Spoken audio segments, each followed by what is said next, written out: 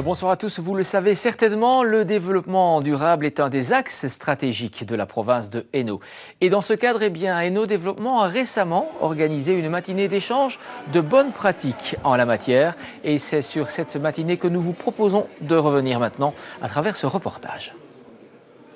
Et nos développements, c'est 10 ans de travail dans de multiples domaines, économiques, écologiques, etc., pour permettre aux Hainouillers de vivre dans une province qui se développe. Mais depuis 10 ans aussi, la manière de travailler s'est modifiée pour coller au mieux aux attentes tant des entreprises que des communes et créer ainsi une véritable politique d'éco-développement durable qu'on a dû un peu adapter nos services et on les a aussi et surtout adaptés en fonction des demandes du terrain, que ce soit au niveau économique en effet envers les entreprises, au niveau des pouvoirs locaux. Il y a quelques années, le BEJ travaillait essentiellement au niveau statistique pour les communes. Maintenant, la panoplie de services que l'on offre aux communes s'est largement étendue, que ce soit au niveau statistique, au niveau gestion du patrimoine arboré, euh, au niveau euh, des conseils en matière de marché public et autres. Donc on, on s'est largement diversifié. On constate que les communes euh, quels qu'elles soient, les pouvoirs locaux d'une manière générale, euh, sont demandeuses de services. Et à la province, et je le dis d'autant plus à l'aise que j'ai travaillé à la fois à la, région Wallonne et aussi en intercommunal. Mais la province dispose de services extrêmement compétents. Et je ne parlerai pas que des miens, je parlerai en matière de tourisme, en matière d'affaires sociales, en matière euh, euh, de sport, santé, jeunesse. Euh, prenons l'observatoire de santé. On a là tous des services qui peuvent aider les communes, souvent démunis en personnel, démunis en, en, moyens techniques.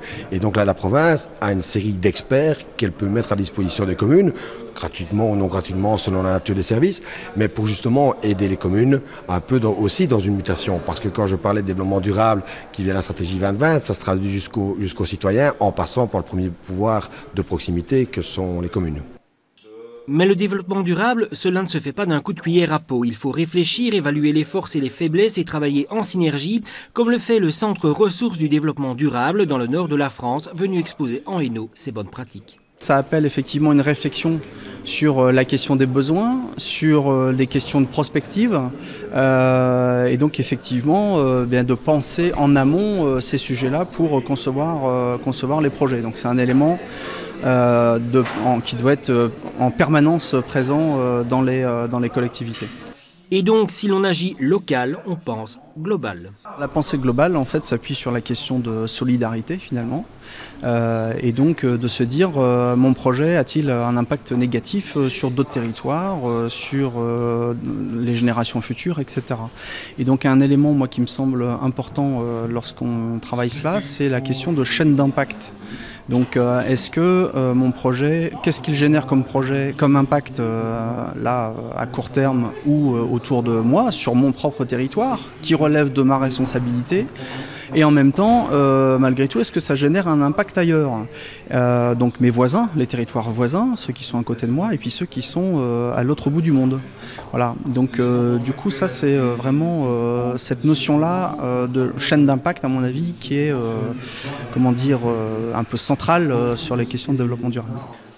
Preuve de cette nouvelle vision, la mise en valeur d'entreprises comme cette chocolaterie Ennuyère qui est économiquement rentable, qui a développé un processus écologique de production et qui a reçu le prix Eno Horizon mais également le prix du développement durable belge parce que désormais Eno Développement parie définitivement sur le durable.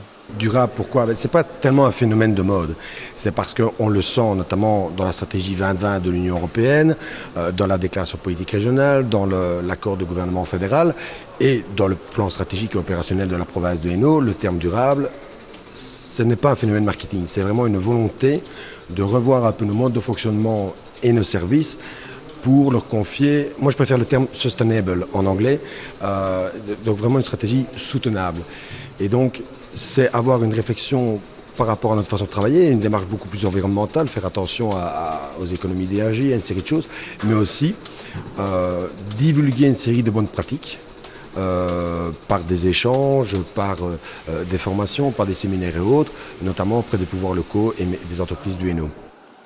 Une politique qui se justifie par le tissu économique ennuyé, constitué principalement de petites et moyennes entreprises, voire de toutes petites entreprises, qui sont le souci majeur de Hainaut Développement depuis 10 ans.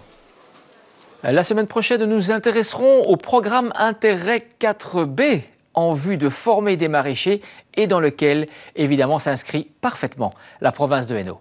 À très bientôt.